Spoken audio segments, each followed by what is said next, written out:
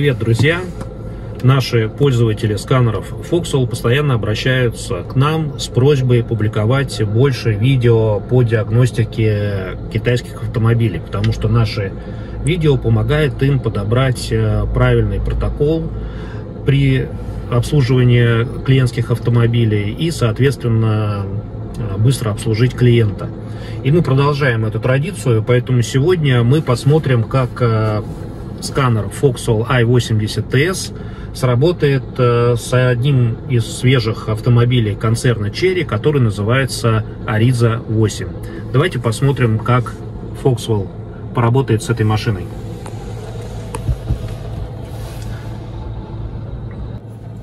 Заходим в диагностику, выбираем китайские автомобили, далее выбираем Cherry, переходим в серию Ariza, выбираем Ariza 8, входим в диагностику и начинаем быстрое сканирование. У нас открывается экран топологии, выбираем все блоки управления и начинаем сканирование всех систем. Если в блоке управления не определен код ошибки, он у нас будет зеленым. Если есть код ошибки, он будет э, в красном цвете с количеством кодов ошибок. Если у нас, допустим, какой-то блок не э, найден или отключен, то он будет в черном цвете. Вот сейчас у нас отключена панель, и она у нас не определена.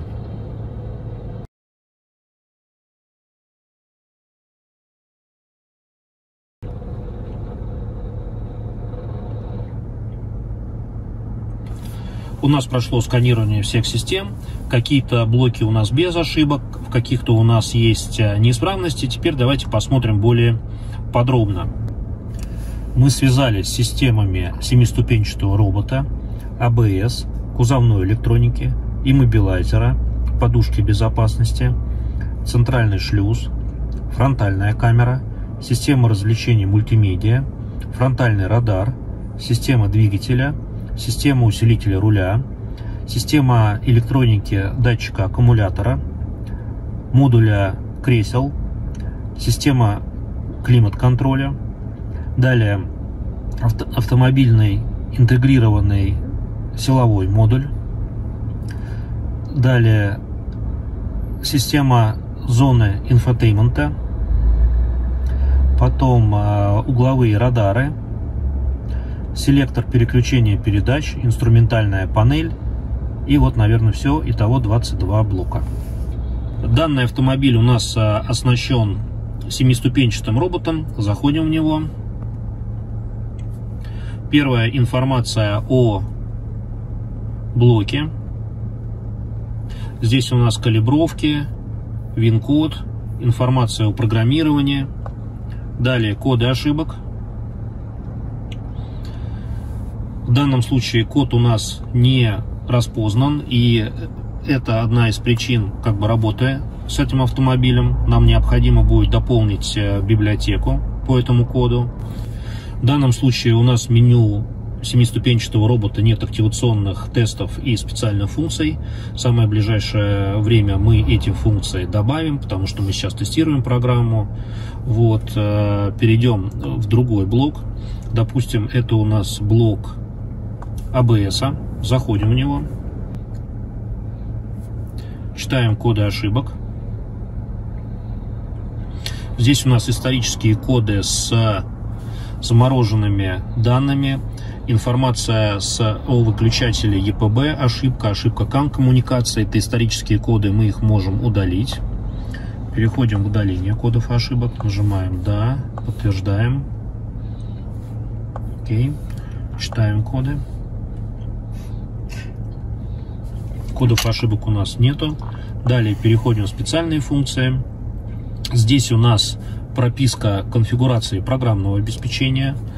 Далее э, включение режима сборки парковочного тормоза, режим управления муфтой. Далее прописка заполнения вакуума, статуса заполнения вакуума, перевод парковочного тормоза в сервисный режим при замене колодок – После замены колодок возврат обратно, проверка в сборке, далее замена э, наших задних запортов и работа отдельно с левыми и правыми суппортами. Еще одна функция – это прописка конфигурации программного обеспечения вручную, продувка системы, продувка системы OneBox B и самодиагностика, прописка ID датчиков тормозной системы, датчика хода и калибровка давления, э, калибровка угла работы мотора системы ABS, то есть, в общем-то, довольно богатый набор специальных функций.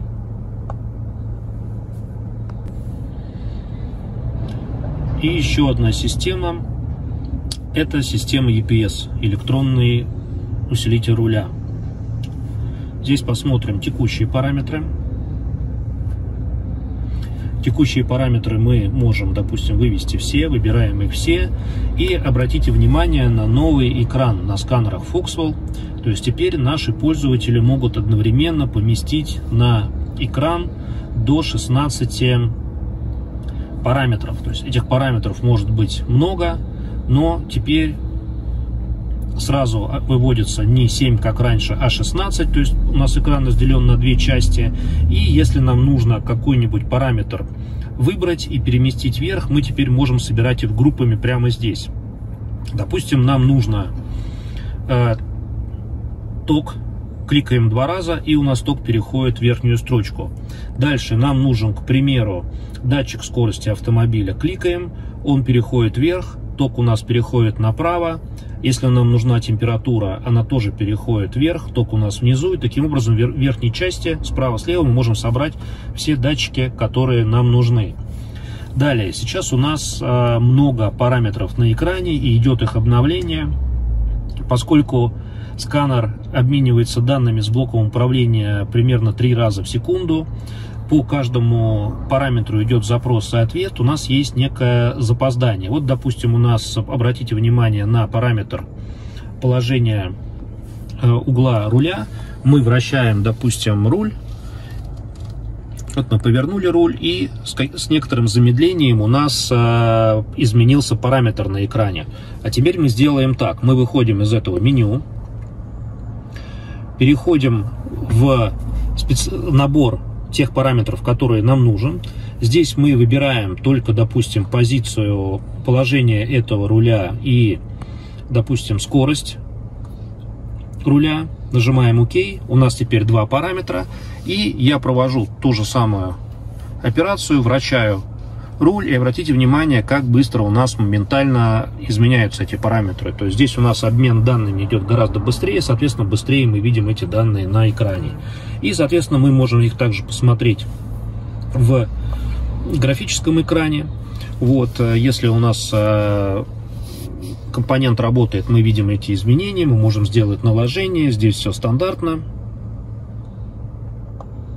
И если мы перейдем в специальные функции, здесь у нас есть фу функция раскалибровки, ресет э, мягкого, мягкой остановки и калибровки датчика угла руля. Зайдем в инструментальную панель.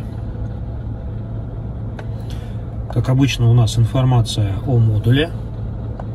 Далее кодов ошибок у нас нет активационные тесты посмотрим. Мы можем активировать зумер, мы можем сделать тесты диапазона, мы можем сделать тест ЖК экрана или э, выходные цифровые сигналы. Сделаем тест ЖК экрана. Этот тест э, предлагает нам выключение всех символов или включение всех символов. То есть проверка, видимо, цветности битых пикселей. Заходим в включение всех, всех символов информация об условиях, что у нас машина не должна двигаться. Нажимаем ОК. Спрашивает, нужно ли нам читать э, текущие параметры. В принципе, нам параметры не нужно читать. Вот, и дальше нажимаем э, кнопочку «Актив», «Активация» и смотрим, как реагирует э, наша панель приборов. Ну вот у нас панель приборов вся как бы переключилась на цветную изображение, полосы, выходим из меню, и у нас панель приборов выходит обратно. Пиксели мы не заметили, то есть активация здесь у нас работает. В специальных функциях у нас, как обычно, для панели приборов э, сброс э, сервиса обслуживания автомобиля. Переходим далее. Следующая система у нас кузовной электроники. Здесь мы можем тоже посмотреть активационные тесты. Мы можем активировать фары, передние задние фонари. Э, далее предупреждающие лампочки, тормозные лампы, щетки стеклоочистителя. Мы можем активировать центральный замок, стеклоподъемники, к примеру. Зайдем в э, переднее правое окно мы можем одновременно выбрать текущие параметры для того, чтобы активировать э, данный компонент и смотреть, как меняются эти параметры. Но, в принципе, мы это делать не будем, а мы просто попробуем э, активировать э, открывание окна. Нажимаем вниз, и вот у нас окно уходит обратно.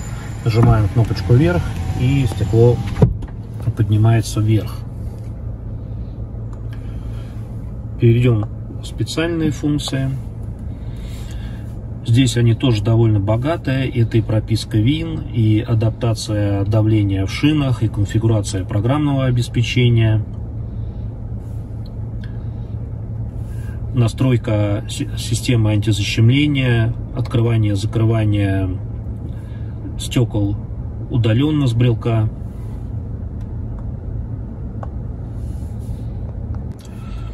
И в заключение давайте перейдем в двигатель. Здесь у нас 1.6 бензиновый мотор. Информация о калибровках ВИН, дата производства этого блока управления. Кодов ошибок у нас нету. Перейдем в активационные тесты.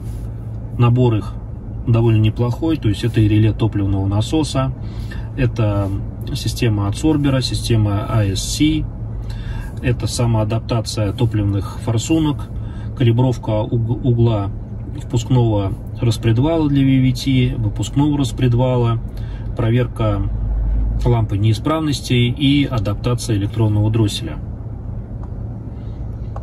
В специальных функциях у нас а, также самоадаптация электронного дросселя, прописка ВИН в новом блоке, адаптация системы VVT, регенерация бензинного сажевого фильтра, если он есть, замена датчика давления бензинного сажевого фильтра, ну это относится к системе Евро-6, ну и, соответственно, замена системы э, GPF.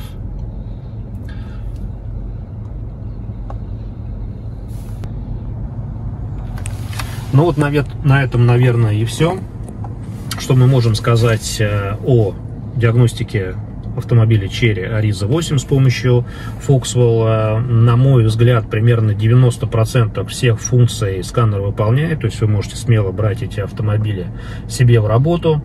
В самое ближайшее время мы еще добавим специальных функций по коробке, обновим каталог э, кодов ошибок и сканер будет готов к полноценной работе с этими автомобилями. Поэтому оставайтесь на нашем канале, ставьте лайки. Пока, до встречи.